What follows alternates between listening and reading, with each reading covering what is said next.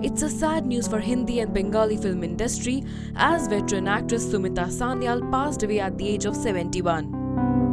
Sumita did almost 40 films in Bengali cinema and was a famous name in Tollywood.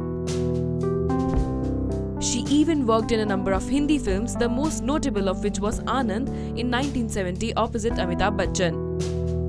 The actress married editor Subodh Roy and has a son. Many famous personalities tweeted for the actress's demise, including West Bengal CM Mamta Banerjee.